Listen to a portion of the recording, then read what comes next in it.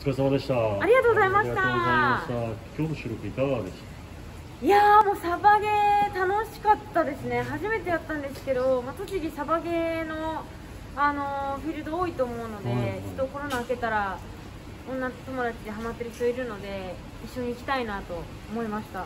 そうですね。結構なんかハマられた感じがしたんですけど。ハマってましたね。ボロボロだった分よりなんか燃えちゃいましたね。あとはちょっとあのー最後加藤さんに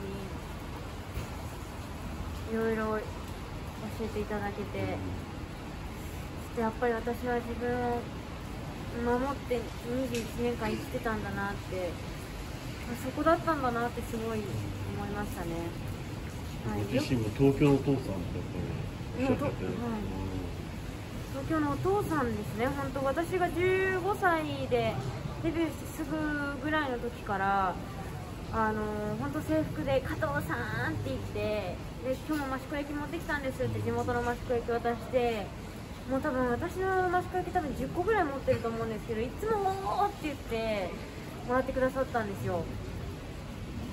でそのお父さんにこう眉毛を剃ったってことをあんまりこうちゃんと話せずにちょっとモヤモヤしちゃっててで今日ようやくあのお父さんの本音が聞けてまた仲良く喋りたいなって思いました。次回またちょっともう少し規模の大きい形で、はい。まあ、コロナが落ち着いた先にはちょっとサバゲもう一あ度やりたいなといややりたいですそしたらぜひちょっとまあたもう今度も栃木に鍛えてまいりますのでぜひお願いします。なんならうちうちでサバゲーやってください。実家で。実家山なので。ねはい。ぜひちょっと会議しておきまあしたぜひお願いします。ありがとうございました。ありがとうございました